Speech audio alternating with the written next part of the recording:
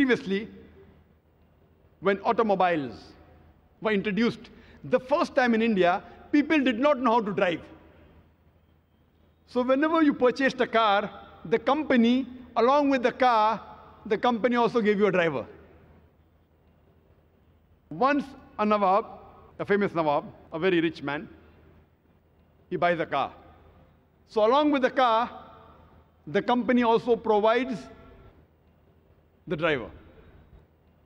One day in the morning, the Nawab Sahib, the rich multimillionaire, he tells his driver, I want to take my Begum Sahiba. I want to take my wife for shopping. Please get the car ready. The driver replies, Nawab Sahib, the car is not in working condition. Nawab Sahib is very angry. Put the car back in working condition immediately. So driver says, to put the car back in working condition, I require 10 liters of milk, 20 kgs of pure honey, 30 kgs of pure ghee, and 40 kgs of rice. That also basmati rice. So Nawab Sahib, the rich multimillionaire, he gives the driver 10 liters of milk, 20 kgs of pure honey, 30 kgs of pure ghee, and 40 kgs of rice. That also basmati rice, top quality. The driver gives it to his wife, and within a few minutes, the car is in working condition.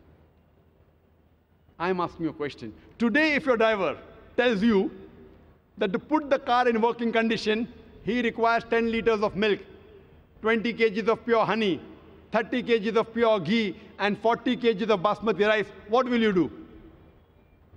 What will you do? Will you give it to him?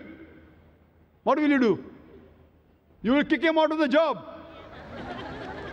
Even though you're not a mechanic, you know how to drive the car. You know very well that a car runs on gas and petrol.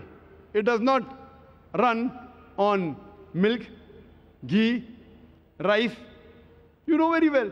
Even though you're not a mechanic, you know the basics, how a car functions. Similarly, today, if you know the basic message of our Creator Allah subhanahu wa ta'ala, if you know what our Creator Almighty God has mentioned in His last and final instruction manual, the Quran, no one will take you for a ride. You will understand your deen much easier. No one will make a fool out of you. There are some people who tell me, Brother Zakir, suppose if you're driving a car, and if you have a temporary license, temporary license is a kacha license in India, temporary license. And if you have an accident, you know, the police will give you a small fine. If you have a permanent license, and if you have an accident, the police will give you a bigger fine. Therefore, if you don't read the Quran, and if you don't understand the Quran, and if you make any sin, God will punish you less. If you understand the Quran, and then if you commit a sin, then God will give you double punishment. You know, very good logic. So why don't you understand the Quran? You know, behave like a person who have a temporary license and enjoy life. You know, less punishment. I told this brother, for sake of argument, I agree with you.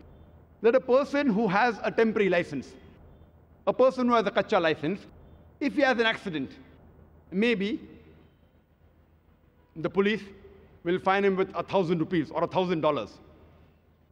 And if a person who has a permanent license, if he has an accident, maybe the police will fine him double, 2,000 rupees or $2,000. Okay, I agree with you. But the point to be noted is that if a person who has a permanent license, in one year the chances he'll have an accident is maybe one. But a person who has a temporary license, who has not learned driving well, the chances he'll have an accident in one year is maybe 50. So at the end of the year, the person who has permanent license pays a fine of 1,000 rupees or $1,000. And a person who has a temporary license, he pays a fine of $50,000. A person who has a temporary license pays $1,000. A person who has a permanent license pays $2,000. So if he has an accident once a year, at the end of the year, he pays a fine of $2,000. And a person who has a temporary license, maybe he'll have 50 accidents in a year. At the end of the year, he pays a fine of $50,000 or 50,000 rupees.